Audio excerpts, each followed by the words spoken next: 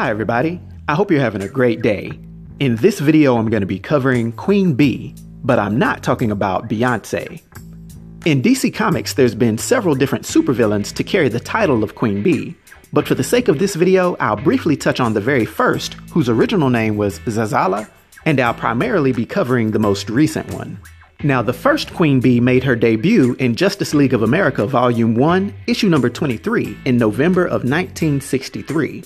But the current version debuted in Superman issue number 21 in August of 2013. She also happens to stand 5 feet 8 inches tall and weigh 135 pounds, having brown eyes and blonde hair. Now, the first Queen Bee had vast superhuman strength and speed, being almost equally matched with the new god Big Barda. She was also able to fire poisonous darts from her wrist, as well as being able to release a type of pollen that caused delirium and confusion. Now, although the most current Queen Bee is not quite the physical powerhouse of her predecessor, she has a vast array of abilities that make her somewhat more dangerous.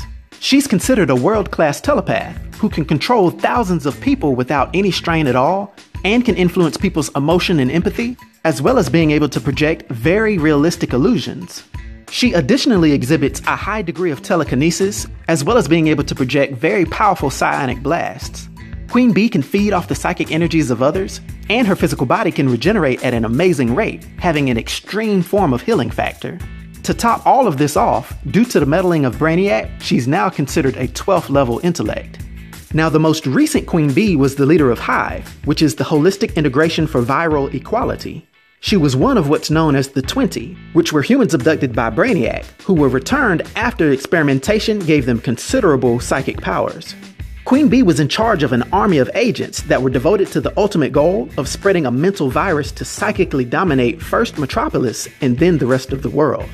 Her powers ended up being enhanced even more by a substance called technoplasmic waste, which was refined from the emanations of negative emotions. She ended up coming into conflict with the powerful telepath Hector Hammond and Superman as well. And although they found her mind control and psionic powers difficult to overcome, they finally did break free from her. She revealed that she was working for her quote unquote father, Brainiac, to protect the people of Earth from themselves by mentally enslaving them. She then went on with her plan, hunting down the rest of the 20 and incarcerating them in a psychic prison called the Swarm to be able to tap into their powers. It was then that one of the 20, named Psycho Pirate, attacked her and took her plan as his own. It took Queen Bee allying herself with Superman and Hector Hammond to beat Psycho Pirate, and to break the control that he had gained over all the citizens of Metropolis. From here, she escapes and seemingly vanishes for a long time. She does finally reappear when taking control of the entire city of New Orleans, but this plan was put to a stop by the Teen Titans, and she also tries to set up shop in Gotham City, but this was put to a stop by Jason Hood and the physical might of Bizarro. Despite these defeats, she's definitely tenacious, and one thing that's for sure is she'll always continue to further Brainiac's mission to control the Earth. Now, for her powers and abilities and her influence on the DC Universe, for my 1 to 10 rating, I'll give Queen Bee a rating of 8, which is an unforgettable rating. I hope everyone enjoyed this video. I'll talk to you next time. Be sure to like and subscribe to The New Sage.